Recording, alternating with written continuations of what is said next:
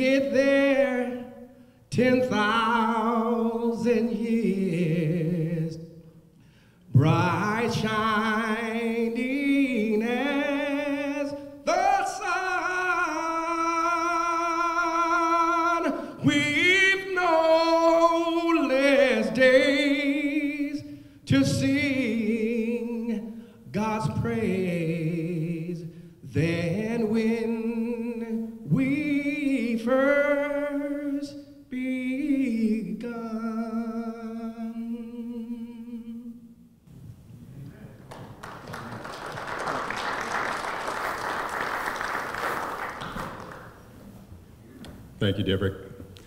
Once again, thank you all for being here. Um, for those of you who may not have seen me for a while, I'm Al Jr. or JR. Uh, we're here to celebrate, celebrate the life of my dad. And that's what we're looking to do over this next few moments in order to really spotlight the different things that uh, are really the highlights of, of his life and his time on this earth. Dad was born on October 5th, 1924, and he passed away on February 25th, excuse me, February 10th of this year at the age of 92. We were really blessed to have him that long with us. He was the youngest of 10 children, and he survived all his siblings, quite significantly, actually. Dad was a veteran of World War II and served time within the Philippines on his term in the U.S. Army. He was married to the love of his life, Morrow, my mom, for 67 years until she had passed last January. Quite a story just in that alone. He was a father of three boys Ernest, Kenneth, Albert Jr., or JR, grandfather of five, great grandfather of five. My dad spent approximately about 40 plus years in the trucking industry as his career, and he was uh, well known within the industry just as being a hard and tireless worker. And he also spent a lot of time faithfully serving, serving people in his community, serving his family, and serving in a church environment. And that's what we're here to celebrate during this time. Let's pray. Father, I'm so grateful that we can get together and, and be together as friends and family and celebrate my dad's life. Thank you for what you did in and through him. Thank you for the influence and all the things that he left us. And thank you that he's now home with you, rejoicing with mom. We ask you just bless our time together, bless our hearts, and we ask that uh, you would be among us during this time that we share together. We pray all these things in Jesus' name. Amen. I want to bring up Brother Tom Wolf. Brother Tom has been a, a, huge part of our family and a huge part of my dad's life. And, and Brother Tom, thank you so much for, again, we were just here a, really a, a, few months ago for mom. And once again, Brother Tom, thank you for the ministry that you've meant for our family and for dad. And um, Brother Tom's going to lead us through this afternoon.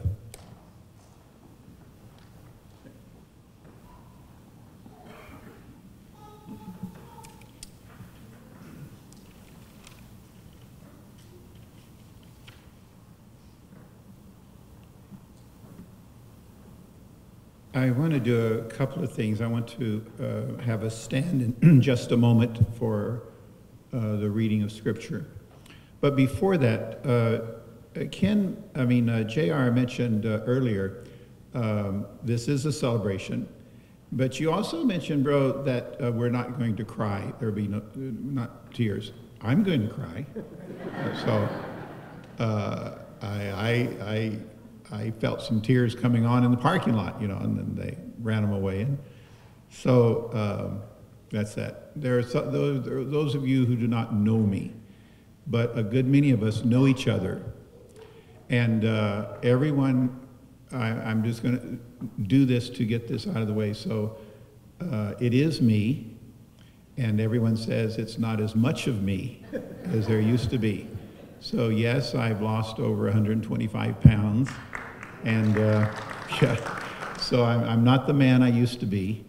And uh, uh, Linda and I are back after 15 years in Asia, most of that uh, 12 years in, um, in India. And we have with us Sammy, uh, who just turned eight years old, uh, our Indian grandson.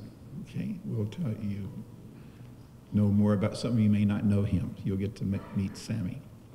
So, what a wonderful thing for us to be able to be together. And, and uh, how do you say it's a wonderful thing when someone has died and passed away? But, you know, everything that was just sung to us, I thought, the man that wrote Amazing Grace, remember, was a slave trader. He had trafficked, he was a human trafficker.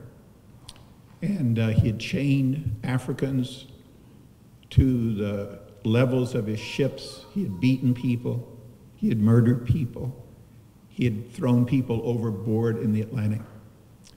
And uh, this man uh, in his life was overwhelmed and came to Jesus. And when he wrote of this amazing grace, how sweet, how sweet the sound that saved a wretch. You know, uh, one of the denominations uh, in revising stuff, revised that to save, uh, uh, I don't know, it was, they wanted to change that word. You know, we are wretches. We are pleasant on the outside, but there are things in your heart and things that God, if He saved you, you know it. He saved a wretch like me. I, I, I once was lost. I've been found. I'm a found person. It's a wonderful thing to be a a found person. Hmm. So Al was a found person. And we come to, as you said, we come to celebrate how amazing 92 years. May we all finish well also. Would you stand with me to hear the reading of God's word? Hmm.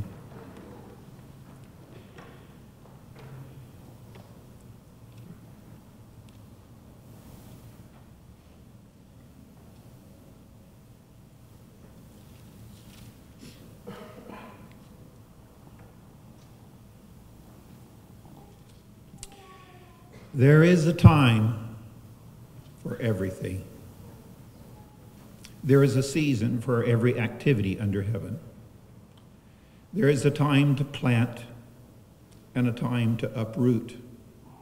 There's a time to tear down and a time to build. There is a time to laugh and a time to weep. There's a time to dance and there's a time to mourn. There's a time to gather together and there is a time to scatter. There is a time to embrace and there is a time to refrain from embracing. There's a time to search for, and there comes to be a time to give up searching. There's a time to keep and a time to throw away. There's a time to mend and a time to tear. There's a time to speak and there is a time to be silent.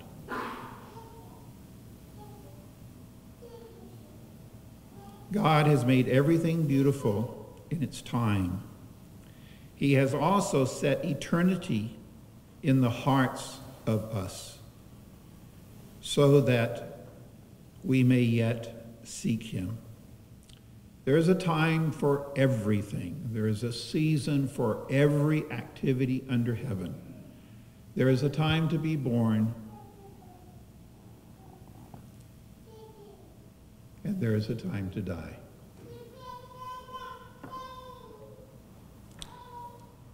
Those are the words of a son. Hear the words of his father. The Lord is my shepherd. I shall not want.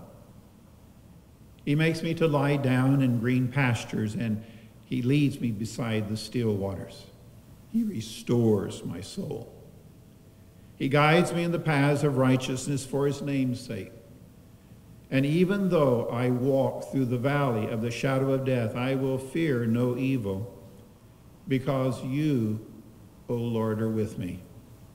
Your rod and your staff, they comfort me. You prepare a table before me in the presence of my enemies. You anoint my head with oil, and my cup, it just overflows. Surely goodness and mercy will follow me all the days of my life. Then hmm, I will dwell in the house of the Lord forever. Psalm 23. This is the reading of God's word. And God's people say, Heavenly Father, minister to us. We gather here, and our common gathering today is because of Al Ybarra. He has touched each one of us. We're not a random group of strangers or acquaintances. We are family and friends and brothers and sisters in Jesus, whom you used Al Ybarra to be a blessing to our lives. Thank you, Father. Help us as we gather together, as we worship you, and as we remember Al. We pray this, Lord, in the name of the Good Shepherd, the one who has guided us. We ask you these things in Jesus' name. Amen. You may be seated.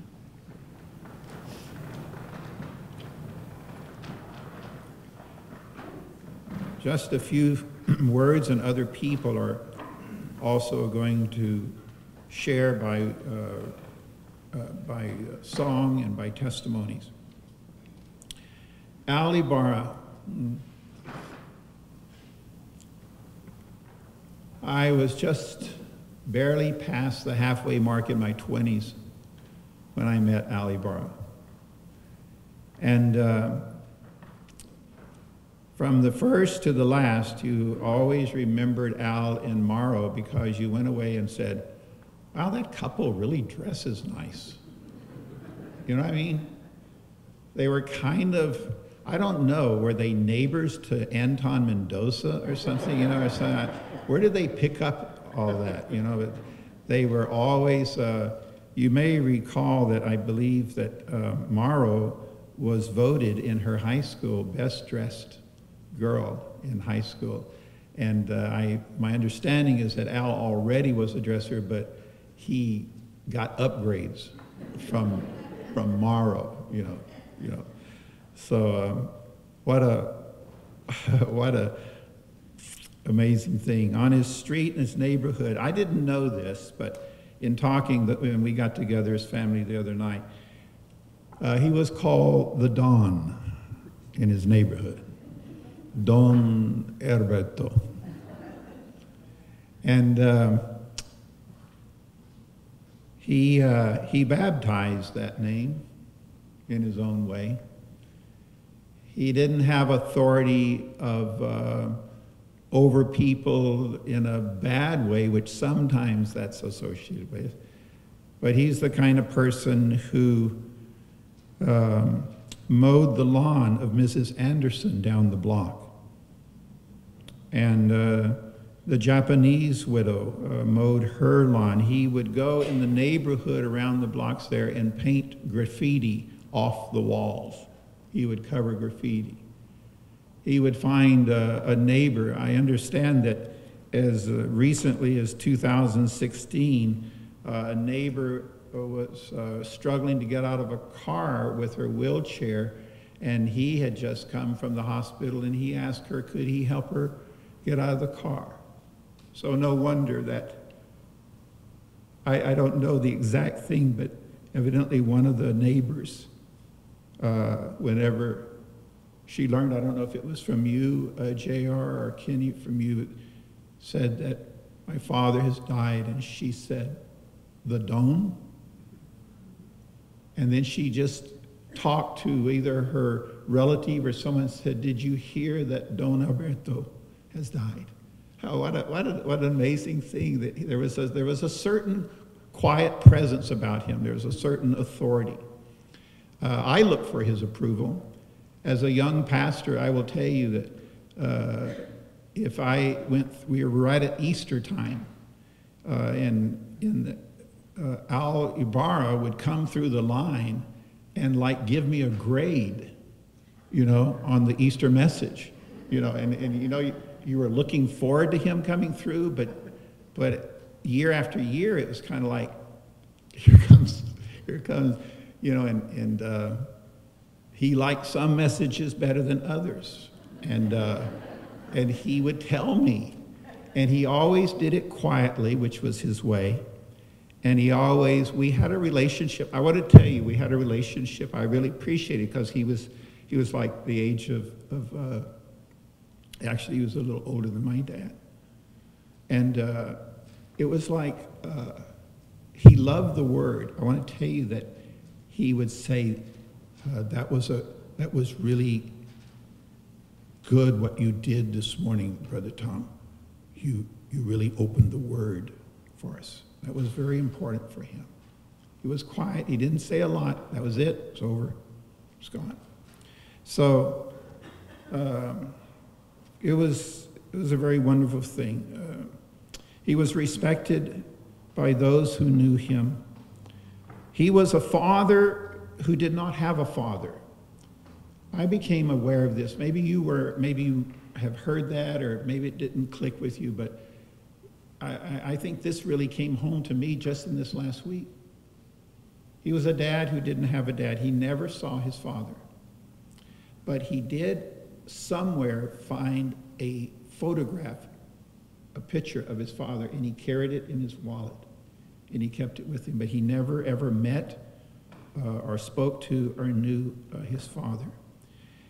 I think that's what makes it even more amazing to me when I hear of how, with you guys as sons, what he would do. You know, he worked for I don't know how many years at uh, CME, the, the uh, shipping and everything, and uh, he did the time slips, uh, loading trucks and such as this. Uh, well respected by all the men that he worked with. Uh, and um, he, in the afternoons, he got off in the earlier afternoons, and so he would take his sons uh, to the park or to the beach repeatedly, week after week. Uh, you know, many of us have had jobs in which you wouldn't, you wouldn't be able to do that with your children if you wanted to, right? But here's a man that took his sons to one of the parks nearby or from, from East LA, from downtown and everything, to, uh, to the beaches is far now. Uh, think about it there before all the freeways and such as this. It's really quite remarkable. So I think that sometimes, uh, you know, even God takes the things that are in our lives and, and brings blessing to others uh, even after us. Uh, so uh, that he, um, he helped his sons get out of the neighborhood. He was a person of the neighborhood, but he also got out of the neighborhood. And uh, evidently, he and Mara liked to, I don't know if he liked to go shopping or Mara liked to go shopping and he went with her. I'm not for sure what it was, but whether it's Monterey Park or out to West Covina, did shopping and such. Al knew things. Um, was interesting because for 25 years that we shared together uh, about in the church on Brady in East LA, he also knew what it was to be the victim of prejudice. I can say this for a person who is an Anglo. I saw things where I got a pass and other people didn't. Okay? Uh, and uh, he lived in the times whenever, at times, being Mexican American, he experienced prejudice with uh, the LAPD and such. Uh, uh, mockery and different things that happened. An interesting thing that I learned was uh, when he voted. Does anyone remember Mayor Bradley? If you've gone out of LAX, we remember. Some of us remember when the it changed names. It became Bradley International Airport, and he voted for him because he said he's one of us. He was a minority, such. So it's like uh vote for. He's a minority candidate. He was a very interesting uh, bro. He was always interested. I know in uh, political things and such he would come and sometimes ask questions. What do you think about this?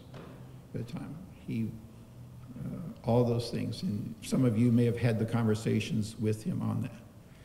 Over the years, I will say this that if you knew Al Ybarra, you knew Jim Shelton. Or at least you knew that Al Ybarra and Jim Shelton were going golfing, okay? You, you might not have been a part of that, but you knew that Al and Jim we're going to go golfing. Am I right? And I just learned that they were marshals at the, was it Montebello Country Club? There, and, but see, being a marshal, really, it also meant that they got some free golfing on the side. Uh, I just learned that about you, Jim. So you and Al, it's like, what a, what a marvelous thing. You know, if Al Ybarra was your friend, you were a fortunate person. Am I right?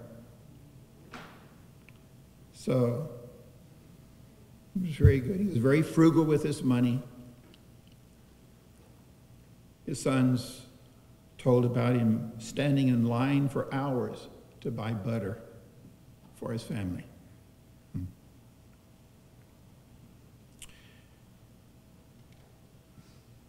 I want to share other things. Um, and there are one thing also, though, about uh, just his marriage. He was really a servant. He carried, Morrow was the one that did the Bible studies. Remember, she would write these notes all the time. She was writing notes, and she would get it together, and she would have Bible studies with women. Uh, and Al, he, he was more the quiet person like that. But how he served, how he served. None of us were there, but there was a time, one time, when Morrow came home from the hospital, and one of his sons said he was standing by the kitchen sink and just crying. Difficult because of what, you know, it was as a husband to see your wife struggling and having difficulty. Many times, Mara, I mean, uh, Al was something of a quiet person, though he was a talker when you knew him and such. But, um, but he was deep. Things that he took hold of, he took hold of and just went in that direction. For me personally, I was the beneficiary of that. To have Al Ybarra walk past me if there were difficult times in other people's lives or things of our congregation, for him to touch me on the arm or just to say to me, I'm praying for you, bro.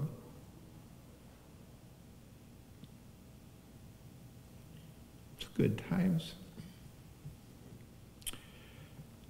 He leaves a legacy. Those of you who are his grandchildren, great grandchildren. It's good to be able to say that Al Ybarra was your grandfather your great grandfather. He gives a legacy, an honorable thing. Others mention that when he gave his marriage vows, he was of a generation, but he was of a, of a person, for better, for worse, for richer, for poor, in sickness, and in health. Hmm. These are good things. So, there, we never, what does God want us to do on a day like this? He wants us to remember. I told you a few stories. I want you to think about uh, a story, an incident that you had, and I want to encourage you to do this. This is your assignment. Tell members of the family. Tell his sons and daughter-in-laws. Tell uh, his grandchildren.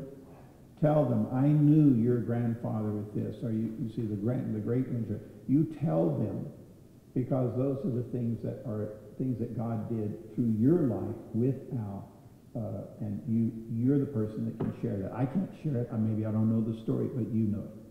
Those are very wonderful things, and it's things that we can do together so that we remember the good acts of God through uh, Al's life.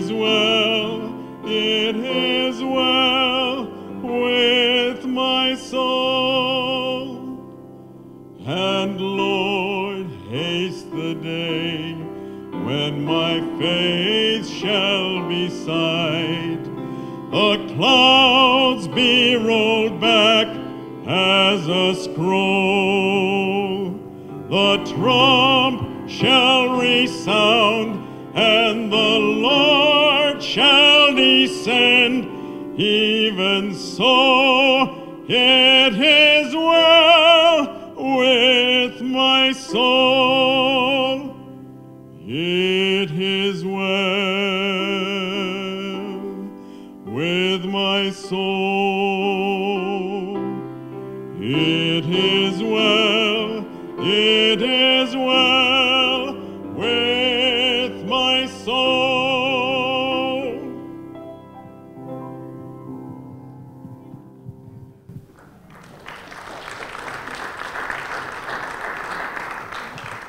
I think for those of us who grew up in First Fundamental Bible Church, that brings back a lot of memories with both Tim and Mrs. Ramos leading us during that time. So thank you so much for being with us and making that happen. Excuse me. you know, I forgot to point something out. You may wonder why, man, he sure is dressed kind of casually for memorial service. Actually, we sent out a little bit of a message that dad, because he was such an avid golfer, that we encourage people to show up in a golfing attire. So for those of you in a suit and tie, haha, the joke's on you, because you missed the memo. No, but thank you for being here. You know, there's three, there's three, th- three characteristics about my dad that stands out about his lifetime in 92 years. He was a teacher who never had a classroom. He was a coach that never had a team. And he was a servant who never sought out the spotlight. And it manifested in several different ways. You know, Brother Tom kind of pointed it out during his time of sharing just a few moments ago. You know, my dad was an incredible servant, both in his community, in his church, and with his family.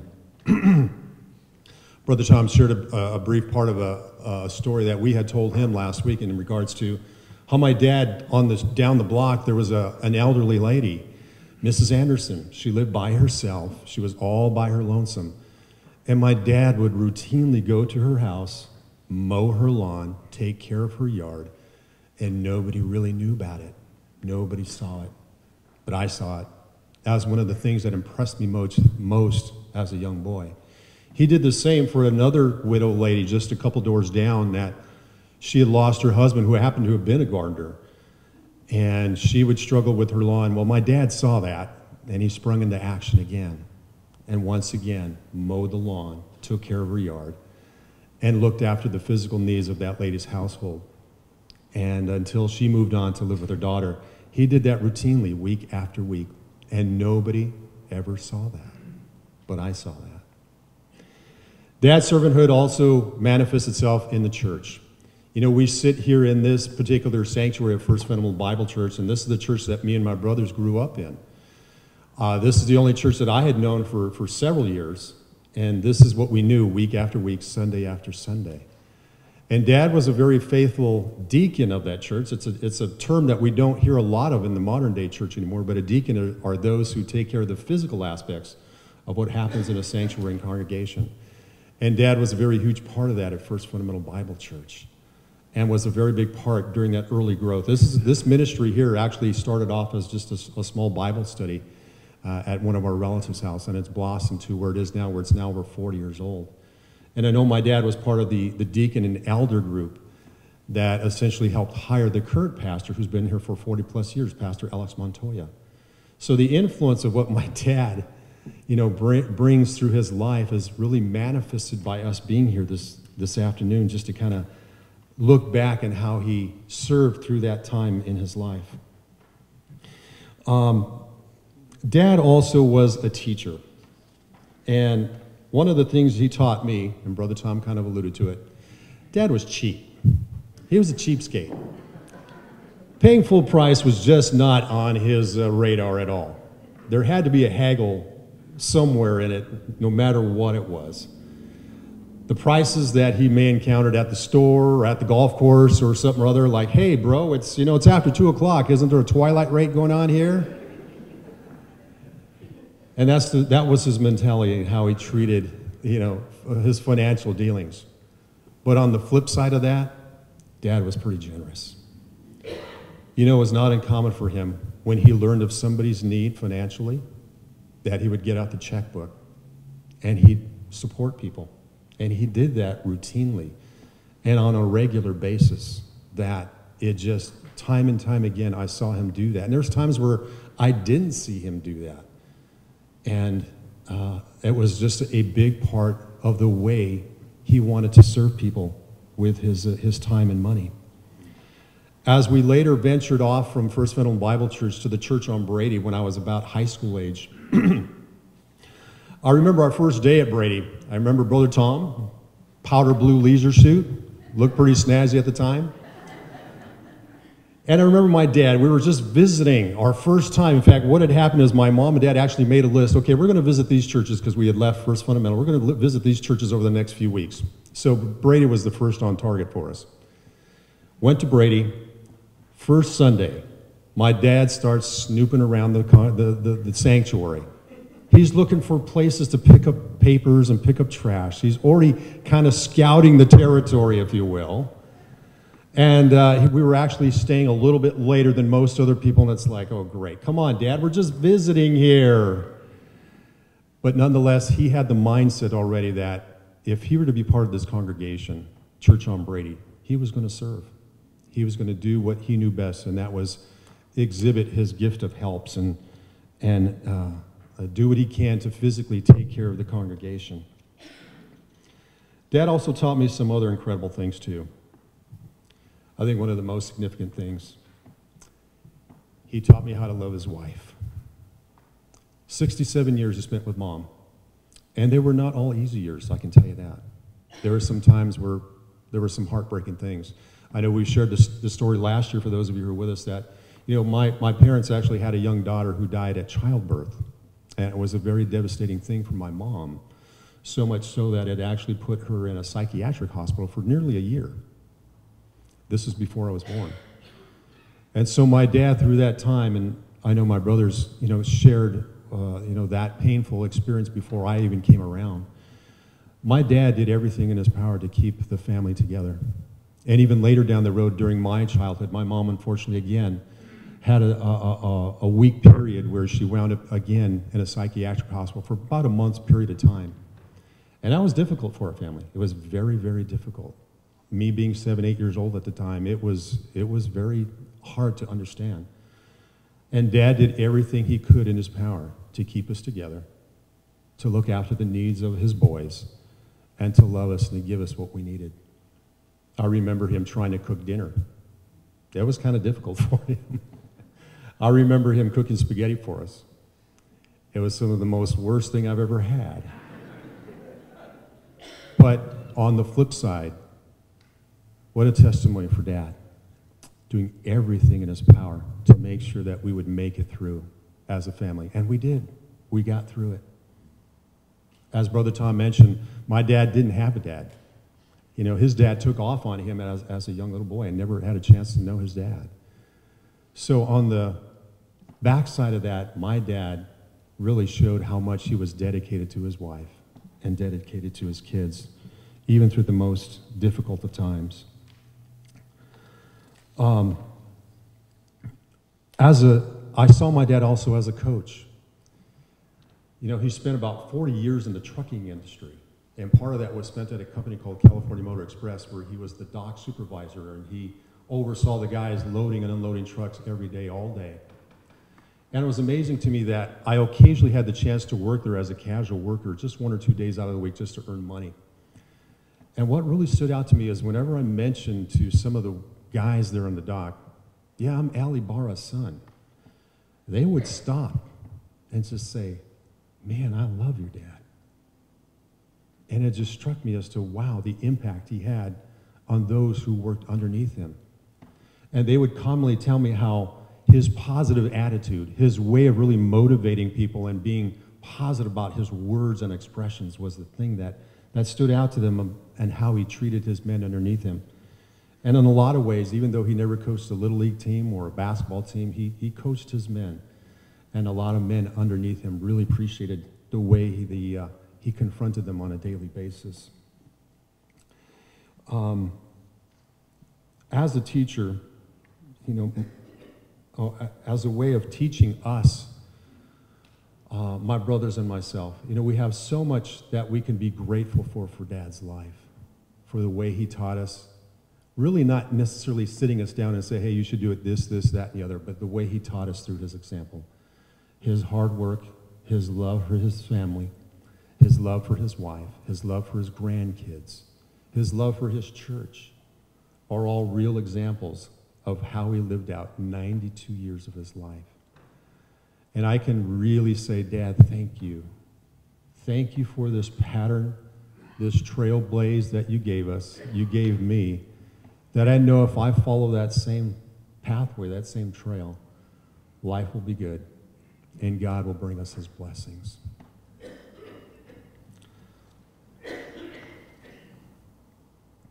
You know, it's is something that I think we all can take heart in and take as an example. You know, I don't have kids, I don't have grandkids, so it's always something I can't necessarily pass on to a generation of my family.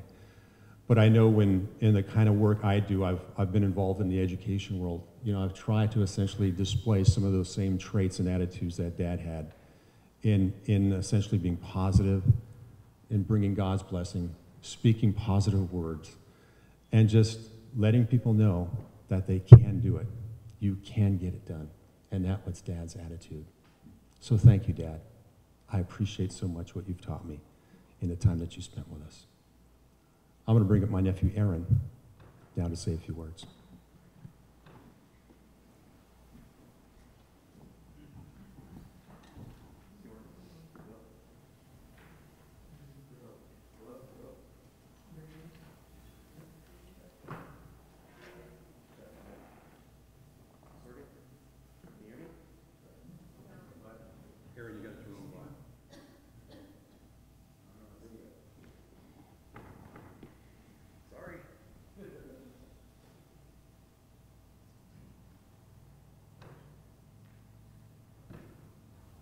One, two. These amateurs, I tell you. I also didn't get the memo, Uncle. Sorry. Good afternoon, everybody. Uh, my name is Aaron Ybarra. I am Al's grandson, and today I just want to talk to you uh, about some stories and memories that I have of my grandfather. Um, you know, in thinking about my grandparents, my, my grandparents were like the cool set of grandparents. You know, I had my grandma who was a speeder, and then my grandpa who was this buff, strong man. And uh, I just, you know, just respected that about him. But the other thing I thought that was cool about him was that he had a, a tattoo. And as a kid, I'm like, oh, I was just enthralled by it. And, uh, but it was kind of a touchy subject for him. You know, you really couldn't bring it up to him. And I remember asking my parents about it, and they were said they said that he got it when he was in the world. And so I remember thinking as a child, like, oh my gosh, man, Grandpa was crazy. He was in the world. And uh, you know, and I'm, my grandfather, you know, he, before he became a Christian, you know, he had his own way of doing things. And then when he became um, a Christian, decided to make that decision, um, he wasn't looking back. You know, he didn't want to look back, and that tattoo was almost like a representation of who he used to be. Uh, later on in life, I was able to talk to him about it. You know, he told me where he got it, and I remember my grandma saying that she just uh, was glad that he didn't get a girl's t- name on him tattooed on his arm. Uh, but my grandfather was really resourceful too. Uh, no matter what, like he was always looking for the details and things uh, to work on, and that goes for like he came to my house one day and he was able to like look at every single thing that needs to be repaired around the house, and he'd be sure to point it out to you. But it always seemed like he knew somebody who could repair it, you know. And if he didn't know somebody, he knew somebody who knew some who, who knew how to repair it whether it be painting your house or if you needed a, a smog, uh, your car to pass smog. But uh, he was also very meticulous on any given task. Uh, he would he actually gave me a class one time on how to vacuum, and I'm like, Grandpa, you know I know how to vacuum. And but that pales in comparison to this last story I'm going to tell you. Um, when I graduated high school, uh, my grandfather brought all the tables and chairs from the church, and um, so we had a, a graduation party for me. And later on that night, after everything was done, I went out with some friends. You know, stayed out late, and uh, the next morning, my grandfather comes in at seven o'clock in the morning, wakes me up, and he's like, "Hey, we gotta, you know, load all the tables and chairs." And I'm like, "Ah!" so I grudgingly get out of bed, and you go outside, and we methodically load up his truck. You know, everything stacked perfectly.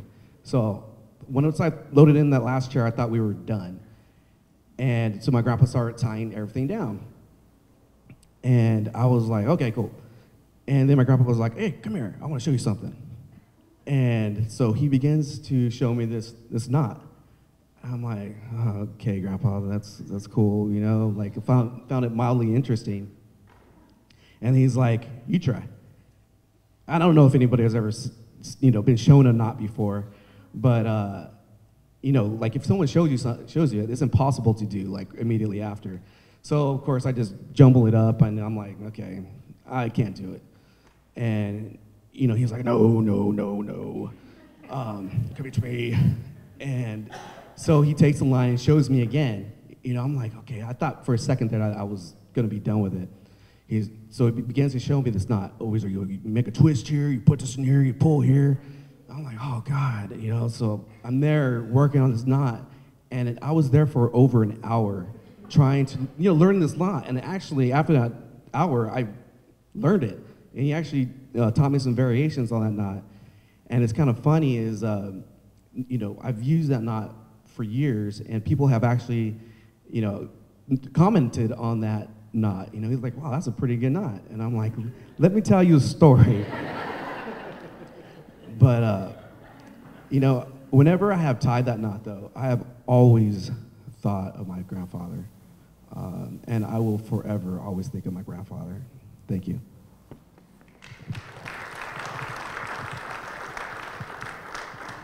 Now my brother Ken is going to come up and share. Ken? Think he has to get a PowerPoint first.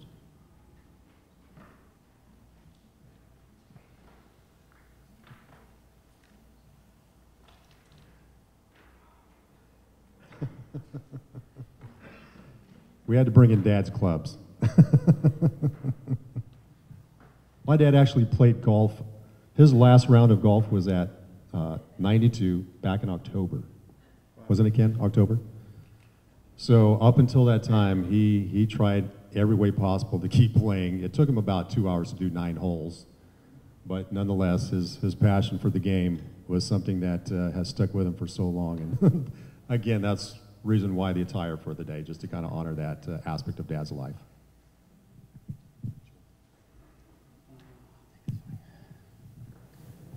I want to first of all thank you for paying respects for my dad.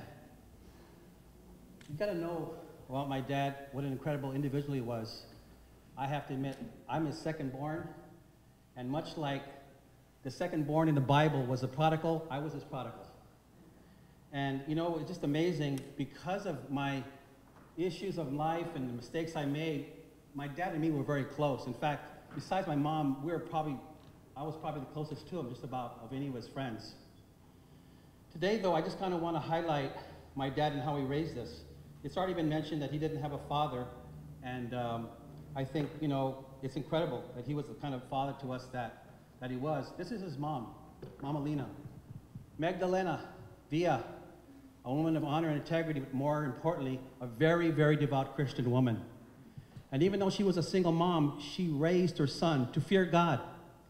And I have to admit, that one aspect of my dad fearing God, it colored his whole life. And today I really want to highlight my dad in raising us actually did three things to us. And I have to admit, my brothers might be a little, you know, um, hesitant to agree with what I'm going to say right now, but I think once I share and explain what I'm going to say, they'll agree with me. But, and this is like a family secret I'm going to let out right now, okay, guys? So just kind of brace yourselves. But in my dad in raising us, he drugged us, he brainwashed us, and he gave us weapons. And you're saying, wow, man, I thought he was a good guy. What's up with all this stuff? You got to remember, we were raised in a rough part of LA, Boyle Heights. So my dad had a certain mentality. But let me explain myself before you say, wow, man, this guy, it wasn't what he, he's being portrayed as. First of all, my dad, he drugged us. He drugged us to the park. He drugged us to Knott's Berry Farm. He drugged us to Disneyland. He drugged us to Shaver Lake, to Yosemite, to some beautiful places. Memories I'll never forget. And he really got into it. And in drugging us, he really wanted us to mainline it, saying, are, you, are you experiencing this, kids? Are you really getting this? This wonderful experience? We took photos, but we have all these memories of different places we've been to. My dad went out of the way to do, to do this. He drugged us.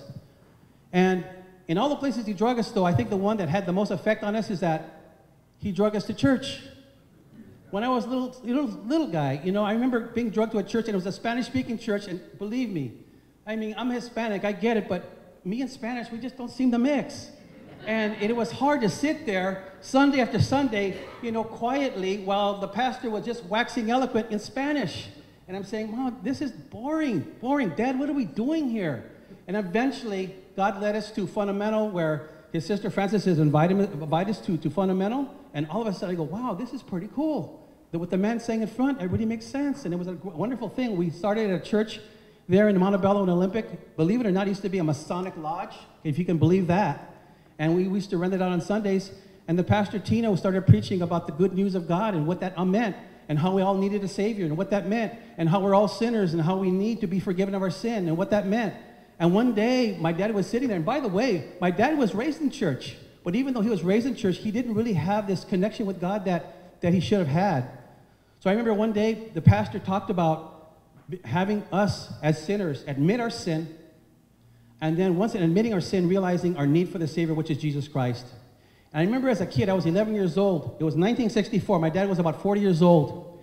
I remember the pastor making the call, the altar call. Hey, anyone who wants to have Jesus in your heart, anyone who wants to be forgiven of your sin, anyone who wants to go to heaven, anyone who wants to have all these wonderful things come in your life, please come forward. And that's a big deal in front of everyone to come forward. Yet, there I saw my dad get up. He came to the front, and I never really saw my dad cry much. But that day, he wept like a baby because he finally surrendered his life as a 40 year old man from all the things he'd done in the past. My dad was a partier. You gotta understand, in the past, and he said he knew his need for forgiveness. He knew his need for the Savior Jesus to come into his life. So there he was at the altar, just weeping and crying, saying, I need you, God. I need you, Jesus. Come into my life. Let me say something also. Prior to that, my dad was okay and cool with us, but every Saturday, instead of hanging out with us kids, he'd take off with his golf buddies every single Saturday. And he'd bring them to the house, and, and he would actually have my mom make breakfast for them. Come on over, guys. My wife's gonna make us breakfast. And they were every Saturday. And in a way, guys, we kind of were neglected in earlier part of our lives as my dad was raising us. But once he accepted Jesus Christ, I'm telling you, there was a change. First of all, my dad had just about a two pack a day cigarette habit. And he also routinely drank. We used to have beer and liquor in the, in the refrigerator. I remember as a little kid seeing it. But you want to know the day he prayed to receive Christ into his life, God took those desires away. He didn't go to Sylvan, you know, school for, you know, non-smoking. He didn't take the patch. I mean, Jesus came in and he just turned his life around. He just put away his cigarettes and put away his alcohol, and he started trying to be an example, a better example to us. And I noticed shortly after that, he began to be more attentive to us as kids. And instead of taking off on a Saturday to play golf, guess what? Hey, kids, we're going to jump in the car. We're going to the beach. One of the places we used to go to, I love to this day, is a part of Griffith Park, Crystal Springs area. And he ta taught us how to play, play catch with a baseball. He threw the football with us, and he got involved with our life because he was really now in tune with really being a wonderful father and an involved father. So I have to admit, you know, in, in drugging us, the thing that made the most impact in our lives was when we were brought to church because not only he, did he drug us on Sunday mornings, but we actually went to church Sunday night. I mean, the people don't do that anymore, but we went to church Sunday night. We went to church on Wednesdays for Bible study, for prayer. And then on top of that, if that wasn't enough drugging, he took us to a Friday night youth group where my cousin Mamie Ramirez was a wonderful youth leader for many years. It, it was called CAVU, which stood for Ceiling and Visibility Unlimited. It was an aeronautical term, and that's what she and that church at that time wanted to instill in us a vision for the future, a vision to do something great with our lives. And it stayed with me. In fact, years later, when I was doing real estate, guess what? I started a corporation, and guess what I named it? CAVU Ventures. So it had an impact on my life. So in addition to my dad drugging us, he also brainwashed us. And I'll tell you how. When we were really small, he taught us you are just as good as anyone, no matter who they are. When you talk to people, you shake their hand and you look them right in the eye and say, Hi, my name is Kenny Ybarra. Or, you know, when he, in some ways too, when he says, when you're being intimidated by someone, he says, when you see someone, you know, giving you a hard time, just picture them in shorts. picture them in their underwear. And then you see, hey, you're just, you're just like me. You're no different than I am. You put your pants on the same way I put my pants on, and realizing we're equals. And that's how my God instilled us. You can do, you know, what you want to set out in life, and that's how He taught us to have confidence about ourselves and who we were.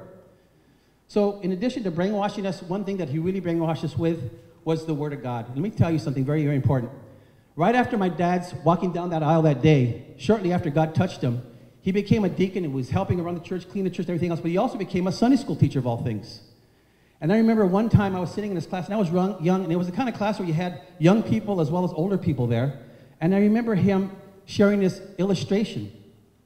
He shared the example of Vince Lombardi, former coach of the Green Bay Packers. And the Packers had just uh, lost a terrible game. They played awful.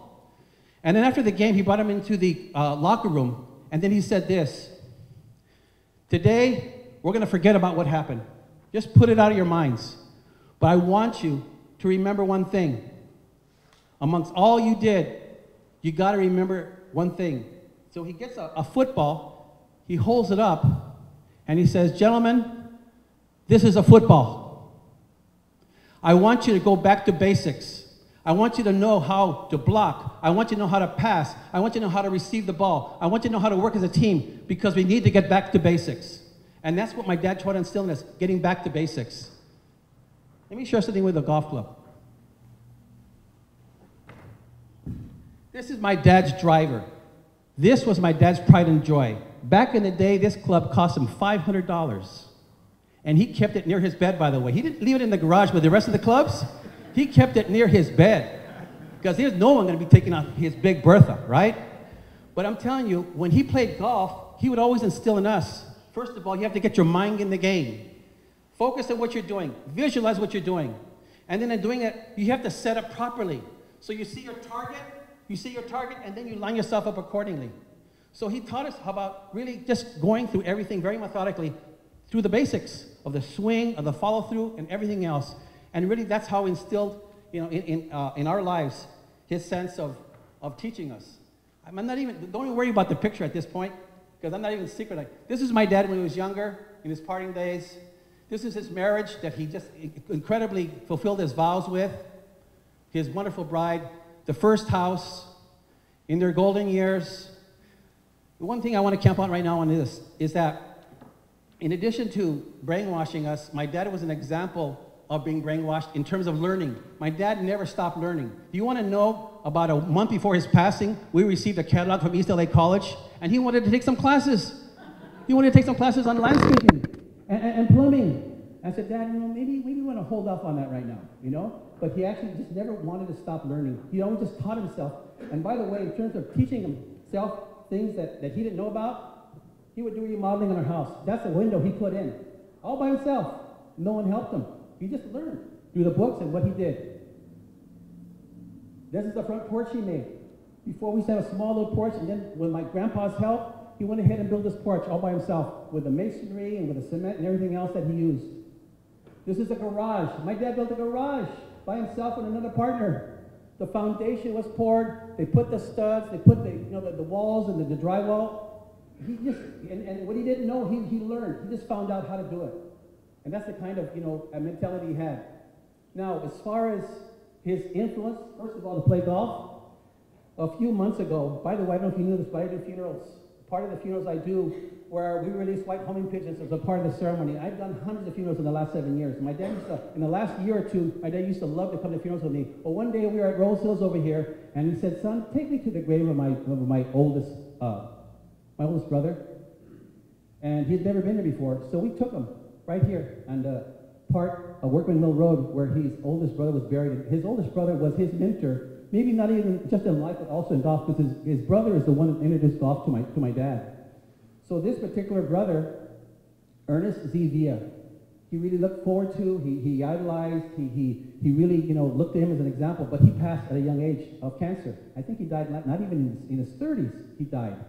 And of course, my dad, you know, experienced that loss. Um, and then here's years later, my dad's love for golf with his friend Bob. Is he Bob here? Or you think you're here? Where are you, Bob? There you are. He loved Bob. He loved Anton. He loved Jim. Those were his golf buddies. And, you know, it's just a wonderful thing to know that in his later life, he continued to play golf. He didn't give up on that sport. There's me and my dad. Now, as the years passed, of course, this was a wedding for Monica and Doug that they went to. And uh, they just totally relish their grandkids all of the grandkids they had such a love for and such a, a, commitment to. And then here's them with Ernie and JR and Michael and Monica toward the latter part of their life. This is my dad. Just last, last November, I took him to uh, one of the restaurants here locally. They were having a free a meal at the Veterans Day. And what's kind of funny is that we went to get this free meal, right? And all these other veterans are there. And then they said, okay, so where did you serve? And where did you serve? I said, well, I was in, you know, uh, Normandy, and I was in all these important, you know, uh, destinations of World War II. And says, where were you? He says, I was in the Philippines, you know, enjoying a, a, a smoothie. Because he didn't see much action in far as combat. But nonetheless, he did serve his country. This is my last, uh, well, actually my dad's last Christmas this past um, uh, December for Christmas in Apple Valley visiting John and Eva and, and Tamara. And this is the last picture of my, my mom with my dad. This was in her bedroom, you know, the last picture that we have taken of them together. And now this is the last day of the White Memorial when my dad was fighting. And by the way, I don't know if you knew this, but my dad had a heart failure. His left ventricle gave out. And by the way, we didn't even know when it happened because after a while, his energy just lost him, totally, completely, just, just disappeared from him. And then even the last time we played golf, uh, about three weeks before his passing, he was at the second hole and he said, I can't go no more, Ken. I can't, I can't finish. And that's when I knew something was really wrong. If my dad didn't want to play and finish his golf game, something was very, very wrong. So uh, this was it. And, and, and by the way, when my dad was in the hospital this last time, he did not want to be there. He started pulling IVs out. He started refusing medication. He didn't want to eat. He didn't even want to drink fluids. And, and he, just, he just wanted to be home. But at the same time, he was just tired. He had given up because his heart really uh, wasn't sustaining his life anymore. So I guess I want to say, and this is the last picture I had with my dad, about maybe two days before his passing. Michael, his grandson, being there. And by the way, one of the frustrations with my dad, if he knew, knew him, is that be besides his hearing loss, he had a real difficult time communicating. I guess dementia had already set in, and it was just really difficult for him to, to talk. And that was part of a challenge in just being there, watching him suffer that way. And then I want to mention Stella. She never forgot him. She went to visit him in the last uh, weeks of his life. And, and by the way, I think it was the Wednesday before he passed, she was there just holding his hand and, and just stroking him, just saying, God loves you, we love you, Dad. And then he kissed her hand. I said, wow, at least in his last days, he knows he was loved by his family and by those people that really cared about him. This is Michael uh, on that Sunday, and this is Bob and Robert that came to visit him about three days before he passed away. And I just want to say right now in closing that my dad was a remarkable man. And, um, you know, really, as I think about it, he gave us weapons. I want to close with this. He gave us weapons. What I mean by weapons, he gave us tools to work with. The tools where he exemplified was integrity and honesty. You know, when you ask his coworkers at CME, who, who, who do you think Al Ybarra is? You know what? Al Ybarra walks a straight line. He's fair, he's honest. And do you want to know this? They fired my dad after 33 years of service at CME. They made some excuse to fire him. Why? You want to know the day after they fired him, they had a walkout at work? The workers stopped work and said, you know what, you need to bring Al Ybarra back because of the example he was to them. And not only was he giving us tools of his own um, integrity, but also in his enthusiasm. My dad was an enthusiastic person. He just loved life and he was infectious in his enthusiasm. He was always getting excited. One of the things that brought him most excitement was to find someone who hadn't played golf yet. I'm thinking of Doug right now, here. You know, his uh, grandson-in-law, I guess. And he said, Doug, you play golf? He said, no, come on, you're going to learn. Come here. And he'd take him to the living room and show him the whole, how to club and how to hit the stroke. And then he ended up taking him out to play golf about a week or so later. And then he was really, you know, just kind of working with him. He just loved and had enthusiasm for imparting what he loved, you know, to others. And that was a part of what he did. And of course, my dad had courage. One day, in, during the walkouts of the Brown Beret and the La, la, la, la Lasa, La Lasa? No, La Raza. That shows you how much of a courage. Okay, I got it out. I got it. By the way, my, my, Spanish, my Spanish is very challenged. When we go in the neighborhood and people would talk at me, I learned little phrases of how to say, oh, sí, como no, or de veras, or, oh, yeah, right. And I'd go along with it, but I didn't know what they were saying. In fact, uh, if the neighbors, if we were in the wrong neighborhood and they were telling me something, they could have been telling me for all I'm going to come in your house, tie you up, and take all your stuff. I go, "See, sí, como no, come on, ven para acá, ven para Because I didn't know. I just tried to do the best I could. But as it turns out, you know, uh, one day at Fundamental here on Gage in Michigan, they had a, a, a, a walkout, they had like a, a, march, a demonstration, and La Raza, La Raza was going to marching, and they were loud and saying, you know, uh, brown power, brown power, you know, all this stuff they were saying. And during that time at the, at, the, at the church, they were having a memorial service, another memorial service for my cousin Rudy, who had died of an overdose. And you want to know, my dad, no one told, him he got up, he was sitting and standing in back, he went out the door on the side right there engaged where they're marching, and then he holds up his arms like this. He goes, Comrades, brothers, please have respect. One of our fallen comrades is being memorialized right now. Please keep it down. And then all these guys, they just stopped what they were doing. And he quieted it down. And then he finished the rest of the walk past us in silence because my dad had the courage to go out there and say, You're disrupting the service of a fallen comrade here. And you know, that's the kind of courage my dad had. My dad wasn't afraid.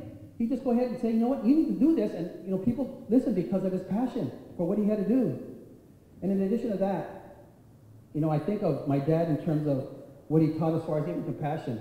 I'm going to share something with you right now, but when I was 17 years old, I fell in love. I fell in love with a girl, and we got real serious, and we wanted to get married. Let me tell you the problem, though. She was 29 years old, I was 17. I know that's a whole other story. That's a whole other, they can maybe ask me afterwards, but that's a whole other story. And my parents were not in favor of it. In fact, on the day I was supposed to get wedding, they weren't going to show up. But as it turns out, the Lord intervened, and that woman walked out of my life. But here's the thing, is that after she did so, I had already moved out. I lived in an apartment in Wyvernwood on 8th Street in Soto. I moved out. And mind you, as a 70-year-old kid, I was holding two, two jobs down to support her. And let me come and share something. I'm going to be honest with you right now. She was carrying my child. And I had a responsibility, and my, my, my, my, my dad, because of his own example, I wasn't about to go ahead and, and, and voice this responsibility on this person I cared about and just walk away. I was committed to making it work because I loved her and I wanted to marry her. But here's the thing, I was working two jobs. I was working at Connell Can Company behind Kmart here in Whittier, making good money back then. I was making almost eight, nine dollars an hour. Back then, this is 1973. And then after that, I'd go, after leaving that job, and I'd go work with my dad at CME, unloading trucks in the wee hours of the morning. And then, you know, after this whole aftermath had happened, and this woman walked out of my life, and by the way, she ended up through God's providence miscarrying this, this child. I remember unloading a trailer, and my dad hadn't talked, and me and hadn't talked. We were kind of like strained in our relationship. And I remember coming into the trailer, expressing his compassion. You know, it's almost as if God walked in that trailer that day because I didn't feel that I was worthy to go back home after I had hurt my parents, after I had disappointed them. And you know, he came in and he said, Son, we love you. Me and your mom, we love you, and we want you back home. And uh, I said, Dad, I don't know if I can come back. I said, It's okay, you can come back. We want you back. And that was a turning point even for my own spiritual life to be able to go back to home, to back to fundamental, get, get discipled with back then Paul Gaynor and Richard Muto and, and kind of get back in the Word. And what an incredible turnabout. But it's only because my dad's compassion that he reached out and reached down to pull me up. And I have to admit, my dad was just an example in so many ways. And uh, that was an example. Another thing my dad gave us weapons or tools in is just to get rid of the vices and all the vices that are out there. He's a kid, and, and, and he tells our sons, you don't need that. But the last thing I want to share right now is that my dad was really one to give us the tool of recreation. The word recreation is the word recreation, which is to create ourselves. Dad was a big sports enthusiast. As I, young as I can remember, we'd watch baseball, we'd watch football, we'd watch basketball, and by the way, we would go to those games. I remember going to a Dodger game at the Coliseum. Back then, before Dodger Stadium was built, as a young kid, my dad had such a love for sports. And then, you know, even as far as um, football is concerned, he took us to a Ram game. I still remember that's the day that Queen Mary pulled in here at the Port of Long Beach. That same day, Green Bay Packers had, excuse me, the, the Rams had a game against the Green Bay Packers in a playoff game. And Roman Gabriel threw a pass to Bernie Casey to win the game. It's an incredible thing, and my dad took us there. And it was a wonderful thing. Um, and then he loved tennis. Who, loves tennis back then? Even now, most young people with, with their fathers, they don't teach them tennis. And yet there we were down the street. There used to be a park, Evergreen Park, and my dad said, "Come on, we're gonna go play tennis." I go, "Dad, you know we don't want to play tennis." I said, "No, no, come on, it'll be fun." And after a while, we got into it, and it was very enjoyable. Even though all of the cholos and all the guys hanging around, "Hey, look at the guy playing tennis." I said, "It's okay, it's okay." Because guess what? My dad was there. My dad was on the court teaching us, and that's what meant it. That's what made all the difference. Is my dad was there. And uh, he also taught, taught us, by the way, how to box. We used to have an empty room. We used to have a three-bedroom home, and one of the bedrooms is empty. And we'd be in there in the middle of the bedroom. Remember, excuse me, in, in an empty bedroom. We call it the empty room because it was empty. and he bought us. He bought us boxing gloves. He bought us boxing gloves. And then, and then he said, okay, kids, come here. So he, he stand up to us and he showed us how to stand and how to block shots and, you know, hits. And, and it was incredible. I still remember. And I'm a pretty good boxer now because of that. You know, try taking me right now. Come on, take, take me right now. I, I can defend myself. But it was a wonderful thing, a wonderful experience to have my father involved with us in that way. But of course, my, my dad's greatest love was golf. And for whatever reason, when we were kids, golf was boring to us. In fact, I don't know if you know this, but back then, back then, these clubs were not steel or not graphite. They were wood, the shafts. And he started us in golf when they had wood shafts. And they were too long for us. Here we were down here, and little kids, and the, the club was way up here like this. So I I got an idea. I'm going to saw the club down. So he sawed the club down to make it fit for us. And then there we were. It's a picture of us. I wish we had it of wood clubs that he had sawed in half for us to learn how to play and learn, learn to enjoy golf like he, he enjoyed it. What a wonderful thing that he did. But, you know, I'm just saying, throughout my dad's life, he, he, was, he was an incredible example. And one thing about my dad, and it's already been mentioned now, is that he didn't say much. And he didn't tell us he loved us much. In fact, I, I can come in one hand the time he said, I love you, but he just showed it. He demonstrated that. And that's what made such a difference in my life and the life of so many other people. You felt God's love in him. And I have to admit, uh, I wish I was even half the man of my dad. And I miss him a lot. And it's only because, you know, I lived with him for the last several years to take, his, you know, take care of him and my mom. And now that I go to do these funerals, I did a funeral, three funerals yesterday.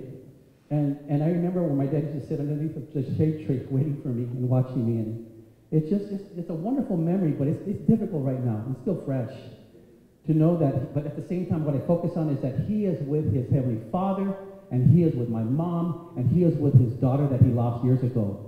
And the rest of his family, I think of my Aunt Frances, I think of Mamie, I think of all of these people that are there joining him. Mr. Ramos, all these wonderful people. We look forward to someday being united with them. So in closing, I just want to say thank you for being here. Thank you for allowing us to share a little bit about what Al Ybarra meant to all of us.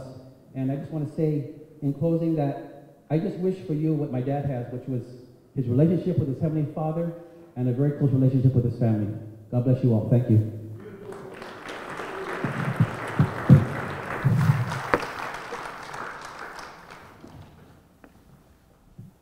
I don't want to take a. Oh,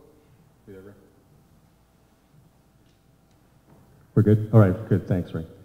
Uh, don't want to take a, a whole lot much more time because I know we're running a little bit on the late side, but uh, we're going to do something a little bit different. I, I, I was actually wanted to make this open mic time uh, maybe take about five minutes. And if any of you would just like to share something that my dad has touched in your life or some memory of him that, that you would like to share with us, this is your opportunity.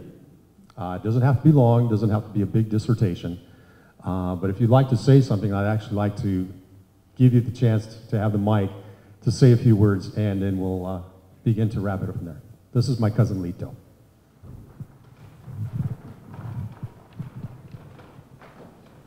My name is Lito Montes. Aunt Maro was the younger sister of my father. Aunt Maro raised me, Uncle Al.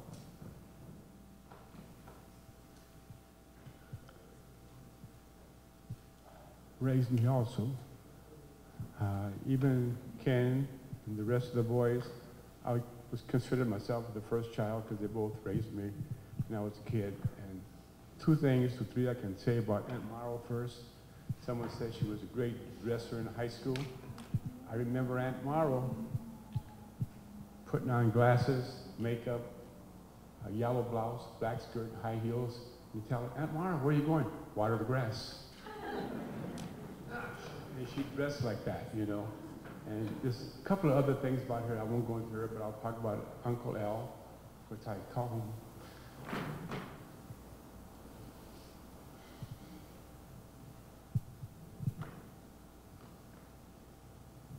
I don't want to say stepdad.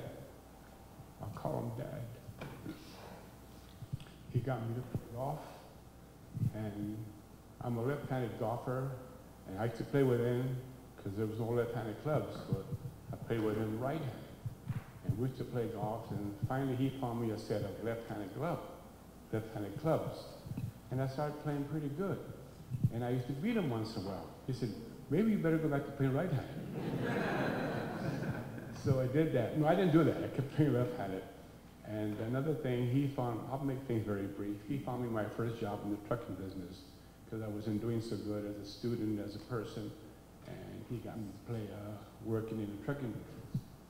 And um, I, I went to work for three months. I worked, ended up working there 35 years in the trucking business. Uh, so he got me started in making some money in my life. And when I made some money, I wanted to buy a new car. And Uncle Al took me down to Paramount Chevrolet in 1956. I had made enough money to buy a new Chevrolet. And we all, and somebody else mentioned that it was all, all, all, all white area. So we went and uh, I had some money in my pocket and I went and I told her, I like that car in the window. It was a 56 Chevrolet powder blue and white. And Uncle Al went with me just as an advisor. And the kid says, looked at me, you know, he says, Mexicans don't have any money. $3,000, you know. And of course, Uncle Al didn't me buy the car cash, he made me buy it on payments. So he got me to do that. I have a hard time going on here.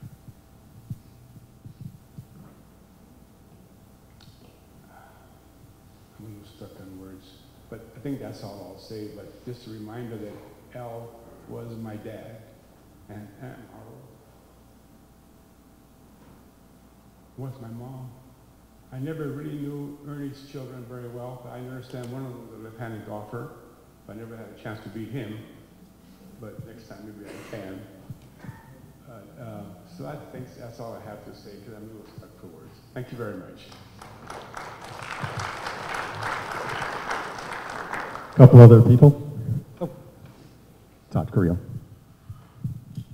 Um, I, I, I didn't know this until a couple years ago, my, but my mom had shared the story with me.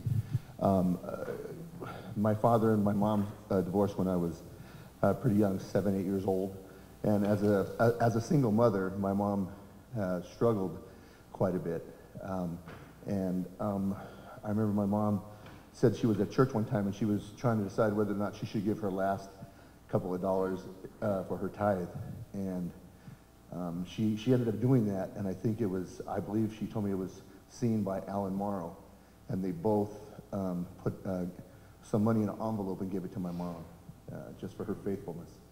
And uh, seeing, and actually being there because we struggled with quite a few things uh, uh, growing up and everything, it, that just really spoke to me, it really ministered to me because um, he didn't have to do that, but he did because he saw a need. And uh, there are times when I, when, when, when I think about Al when it comes to giving. Um, um, his example, even though I wasn't there to see it, but it was shared with me later, um, it, it, it's really, like I said, it really ministered to me and it really spoke to me. And uh, I just felt that I should share that. And it's, uh, it'll stay with me till I die. And um, uh, for his family, I just, um, it's, it, it, it's just really great to know that uh, you guys had a special father, grandfather, um, great grandfather. Just thought I'd share that. Thanks. Thank you, Todd. Oh, Anton. Yeah, I just want to, uh, I love Brother Al so much. And uh, he used to come pick me up at least once a week towards the end of his life. We used to go out play golf. And uh, he, uh, he's always teaching me. Every, every, every, all those years that I played with him, he's still teaching me how to, how to swing. And he even gave me one of his gloves, one of his uh, gloves that he loves a lot, and uh, we had a great time every time. And the most important thing was the peace that he had. He had so much peace, and uh, he was a very humble man. And uh, we had some uh, really good experiences about his life. He tell me a, a lot of things about his life, how he started the first church in Panamano, uh, and how he uh, uh, how he enjoyed uh, serving with his friends there, Brady, his partners. And then um, he always would say, uh, he always would, would bring God in the, in the picture of everything that we talked about. He's always, because of the grace and the love of God, he would say, you know. And uh, the, one of the things that uh, he shared a lot with me was how he was uh, spending uh, a lot of time with his wife, and and while she was real sick, and he and she was how he was it was hard for him, and but uh, we would pray, and and he would say, well, what do you suggest, you know? And then I would I was like a doctor to him. I tell him, well, give her this and see if it works, and then the next time we got together, hey, it's working. I said, well, praise God. That's a, the Lord put that together because, you know, I didn't plan anything like that, but God knows all things. And, you know, he, he uses all kinds of people for different ways to minister to one another. And that's, that's what the love of God and his grace and his mercy and, and it's all about. And, and, and a brother had all that in him. It was, uh, so, you know, uh, I miss the brother and we all miss him a lot. And, but we will be together someday and rejoicing with him. And now he's in better place than we, where we're at right now. But we still have a lot of work to do here ourselves to share the love of God to all those neighbors around us. Amen. Thank you. Got a, a video queued up that just shows a few images of my dad's life over his 92 years. We ready to go, Ray?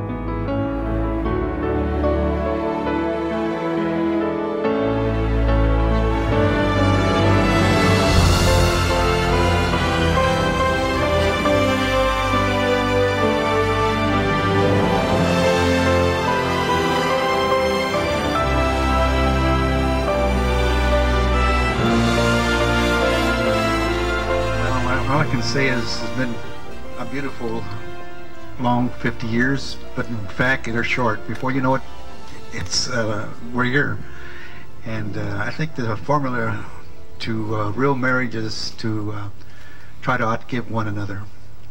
And uh, we've had our ups and downs, our, our going arounds, but uh, if you make them think that they're an ahead, you could always just kind of bluff it and come out just to, in other words, keep them thinking that they're the ones that are doing it. and anyway, it's it's been uh, a beautiful um, marriage. I really love her, and um, as God is my witness, I have never seen another woman as I see my wife.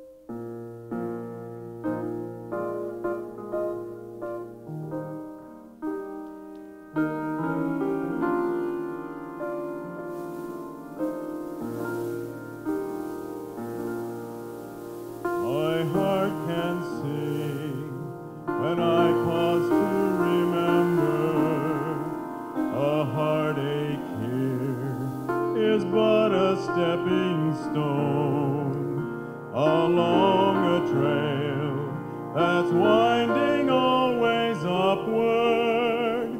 This troubled world is not my final home. But until then, my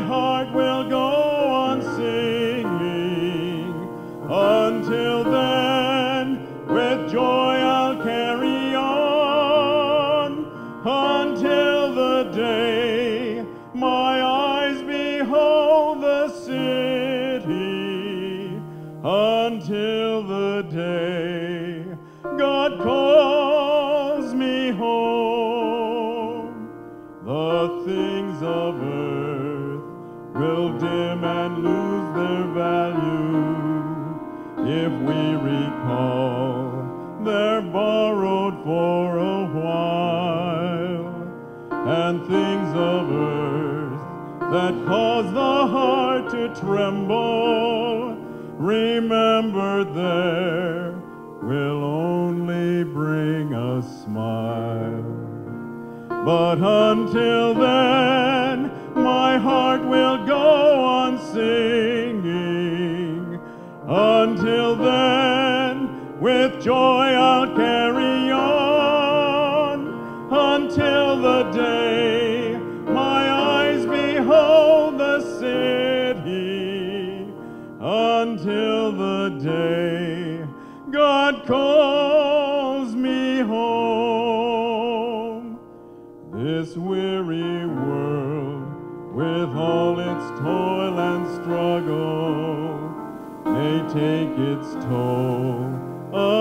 misery and strife. The soul of man is waiting like a falcon. When it's released, it's destined for the skies. But until then, my heart will go on singing. Until then, with joy I'll carry. Until the day my eyes behold the city. Until the day God calls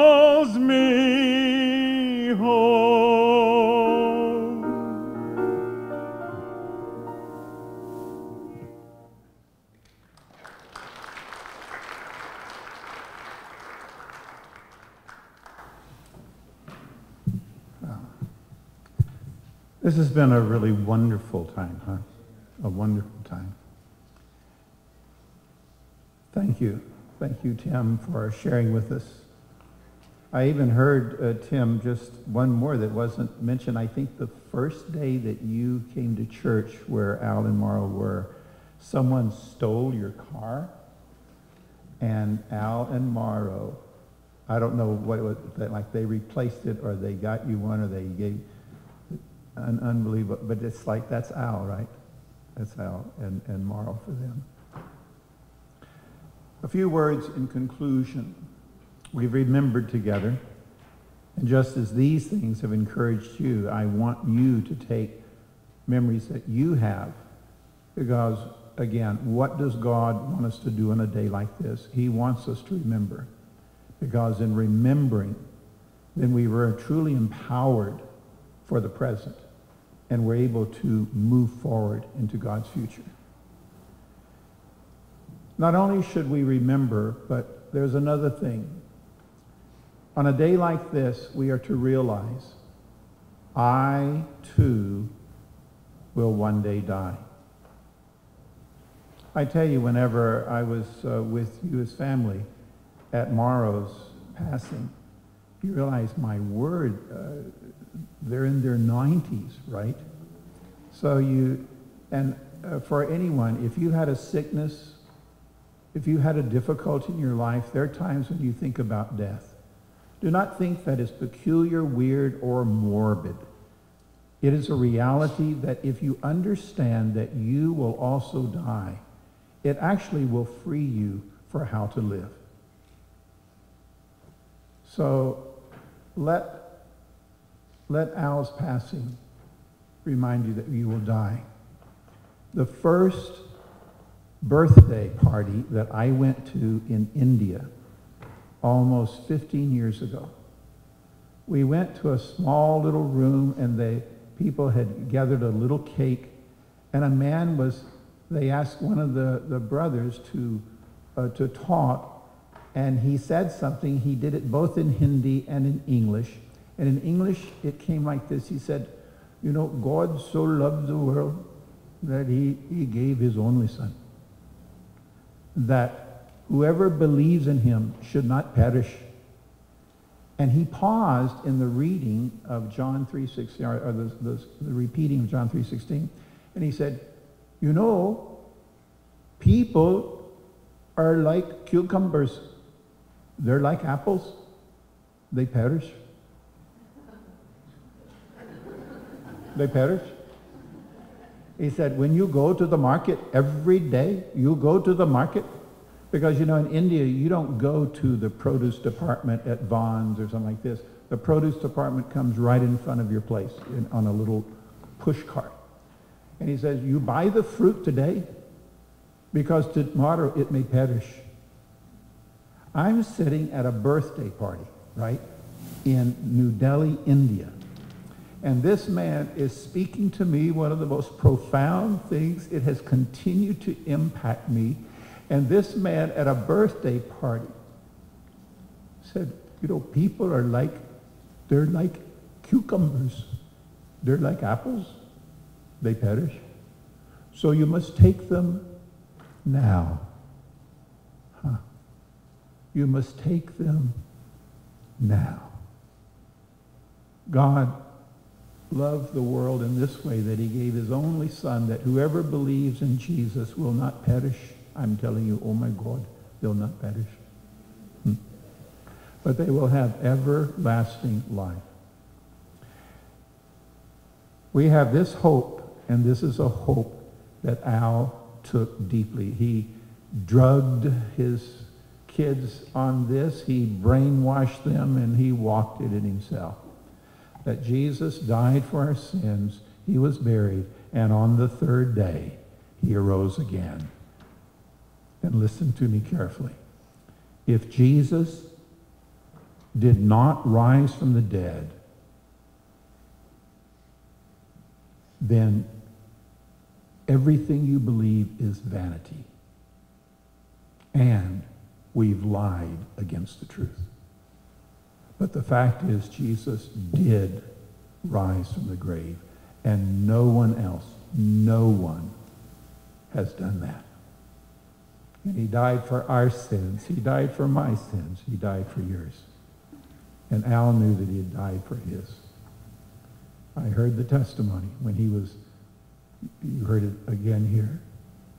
He said that on the day that he received Jesus, he stopped the drinking, he stopped his smoking, he turned, he, he manifested the new life that was in him. We are family, we are friends here today. If Al were here physically, he would say, Brother Tom, do what you always did at Brady. Give my family, my friends, if there's someone that does not know Jesus, I don't know you. I mean, I don't know each of you in that sense where I would know. But if you have never received Jesus personally, maybe you're raised in a Christian family, in a Christian culture, a Christian, you know, you went to church for whatever, Christmas, Easter, something for marriages and such, but is Jesus in your heart? I know that Al discovered that. Well, I didn't, I never heard that, that when he went down, he just cried. You know, we all have something in our hearts and our lives to just stand before God and just with our open heart, just say, God, I need your salvation. If this is your day, listen to me. You're older than you were when Morrow died. If not now, when? Because you know what? People are like cucumbers. Oh my God, I tell you. They're like cucumbers. They're like apples. They perish. And we too, I and you, will one day perish. if you've never received Jesus as your Lord and Savior, would you receive the one who touched and changed Al's life also? And one other thing. We are to be right with God and we're to be right with others. If there is anyone that comes to your mind that you are not right with, I've been to many funeral services and been with many families in the time of loss. And too many times, hear me carefully, too many times on this continent and on other continents, I've heard people say, I should have said this to her. I should have said that to him. I should have made that thing right. The Lord Jesus said that if you know that something is wrong between you and a brother, go to that person and make it right. So right here, I don't know who's sitting behind you or in front of you or to the side of you. No one knows who just came to your mind. But if there is someone, an old friend, a family member, something happened years ago, but you know what? You can't forget it. I don't even know about it, but you can't forget it. Then here at this service for Al Ybarra, would you commit in your heart? You will go. Go to that person. Maybe they won't listen to you, okay? But you will be re- re- relieved before your conscience and before God. Go to the person and say, do you remember years ago? And you know what? I've seen again and again, they do remember because they've not forgotten it either. It was the time when something happened between you, a time when a barrier was built, a time whenever a friendship turned to an enemy, enemy ship. I don't, that's not even a word, is it? An enemy ship, you know what I mean? Go and to make it right. Be reconciled. And before God, receive life because you know what? We're all like cucumbers. We're all like apples. We soon perish. Would you pray with me? Heavenly Father, we bow before you in the name that's beyond all of our names. And what an honorable and good name that Al Ybarra has. But Lord, we come to you in prayer in the name of the one who lived as no one else lived and died as he never should have died. But we thank you that Jesus died for our sins. And we thank you that on the third day, he came alive from the grave to demonstrate that truly he had died for our sins. So, Lord, hear the prayer of that person who says, I didn't think, God, when I came to Al's funeral service, I didn't think that I would have this in my heart. Hear the prayer of that person who says now, God, forgive me of my sins. You know everything that I have done. And you know, Lord, that I too am like that cucumber, like that apple. I too will one day perish. Father, hear the prayer of that person that says, Lord, forgive me of my sins. I receive you as my Lord and my Savior now, right now. I pray this in Jesus' name. Amen. If you prayed to receive Christ, do share with one of our sons. Share with someone else that you may begin to have all that God would have for you. I close with this passage of Scripture. Would you stand with me?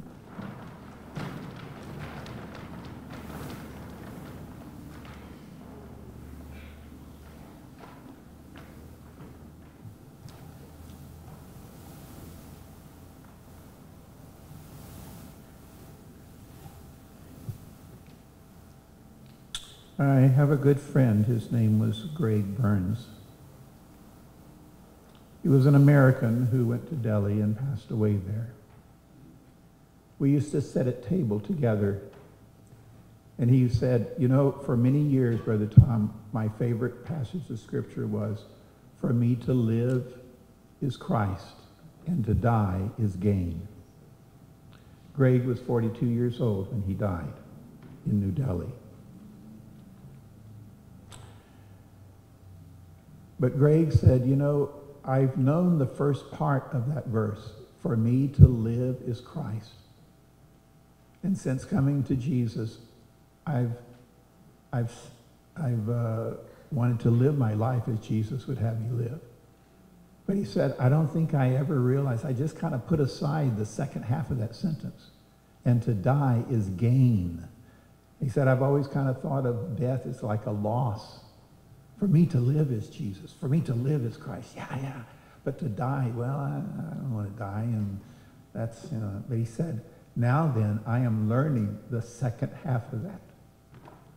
For me to die is gain. Share your loss. Help each other with the grief. But you know what? For Al, it is gain. Wow, that's incredible, isn't it? To be absent from us is to be present with the Lord. So he has again been reunited with Morrow. And he has bowed before the Lord Jesus Christ. He has gone into a dimension that goes beyond what we can imagine. Here's a hint of that very thing. The Apostle John says, I saw a new heaven and a new earth. The first heaven and the first earth had passed away. There was a new and holy city coming down from God, prepared as a bride beautifully dressed for her husband. And I heard a loud voice from the throne saying this, Now the dwelling of God is with men, and he will live with them. They will be his people, and God himself will be with them and will be their God. He will wipe every tear from their eyes, and there shall be no more death, no more mourning, no more crying, and no more pain. But the old order of things has passed away. Write this down, for these words are trustworthy and these words are true. Thus is the reading of God's word. And God's people say, Amen. Heavenly Father, hear us as we come before you. We thank you, Lord, for you ministering to us as we have shared together to hear song and truths, Lord, through the singing, to hear, Lord, of what you did with a man who turned to you a man who helped others, a man who drugged his sons to, to experiences, to parts, to church. Thank you, Lord, for Al Ybarra and how he touched each of our lives. We do thank you, Lord, that his death is more difficult for us than for him. We have a loss. Al has a gain. So we thank you, Lord. Instruct us how to live the present in the light of the reality of the future. And we thank you, Lord. For though like cucumbers and apples we will perish, yet those who know you, they live. They live. So I thank you that Al is with you and he is living as never before. We give you thanks in Jesus' name, no other. We give you thanks in Jesus' name. Amen. The Lord be with you. Turn and greet someone next to you. Say, God bless you, and I'm glad that you came.